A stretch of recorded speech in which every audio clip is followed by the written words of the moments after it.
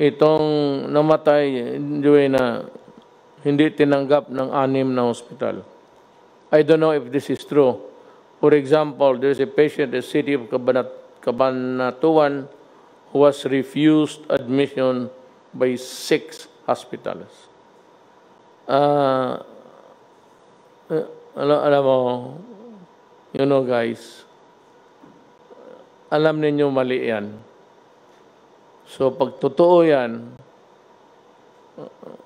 I will really ask the Justice Department to prosecute you. Kasi alam ninyo na hindi pwede yan. Especially the government hospital. Merong gobyerno.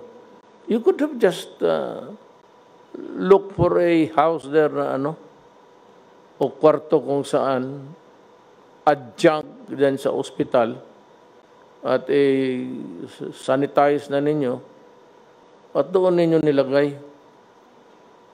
Paano yung mga Pilipino na ganun?